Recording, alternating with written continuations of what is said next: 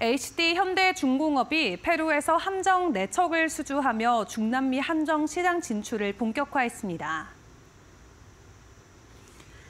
HD 현대중공업은 최근 페루 국영 시마 조선소로부터 3,400톤급 호위함 한 척, 2,200톤급 원해 경비함 한 척 및 1,500톤급 상륙, 상륙함 두 척 등 총 4억 6,290만 달러 규모의 함정 4척에 대한 현지 건조 공동 생산 우선 협상 대상자로 선정됐다고 오늘 밝혔습니다.